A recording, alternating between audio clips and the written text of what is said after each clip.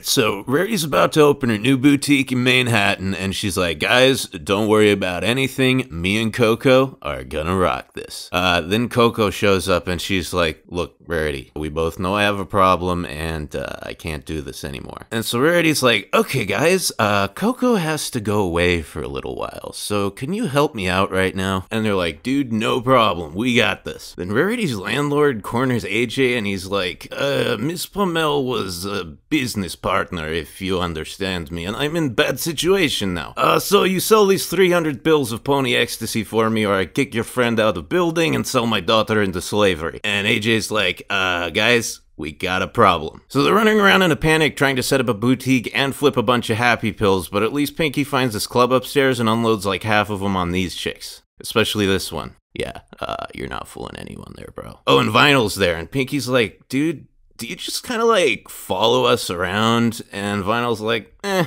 Anyway, so the boutique is still a disaster, and the girls lock Rarity in the window display so she won't freak out and so she can't be considered an accomplice. Dash is organizing potential employees from most to least angular. Uh, nobody knows what the fuck Twilight's doing, and Fluttershy is just sitting in the middle of the room, sobbing her eyes out and saying, I want to go home over and over again. Finally, AJ's like, guys, I think we're fucked. And Twi's like, dude, give me one of those pills. And AJ's like, um, what the fuck are you talking about? And Twi's like, I have a great idea, but we all need to be blasted off our asses for it to work. And Fluttershy's like, um, I'm not sure that's the hallmark of a great idea. And Twi's like, guys, there's no way we're gonna do this shit proper, so let's just do how we do and blow the lid off this bitch. And they're all like, you know what?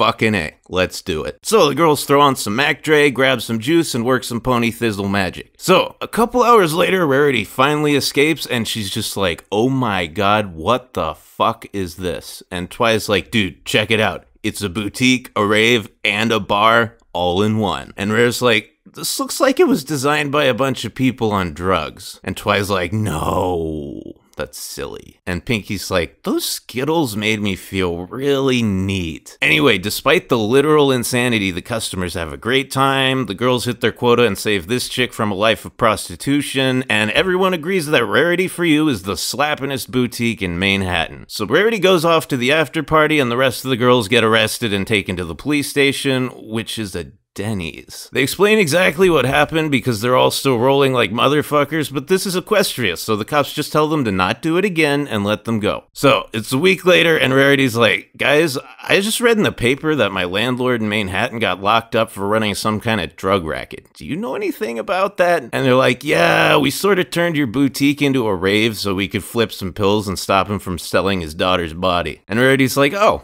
well, that's fucked. And they're like, don't worry, he's in prison and she's in therapy. And Rarity's like, you know, am I crazy or does it seem like this kind of thing wouldn't have happened to us a couple years ago? And they're like, yeah, don't think too hard about it. And Rarity's like, whatever, I still love you guys, even if you're all on drugs now. To the ground as I catch the. Then I wipe all the sweat off me face. Hop back up, then I start to slide. My collar as I glide. Then I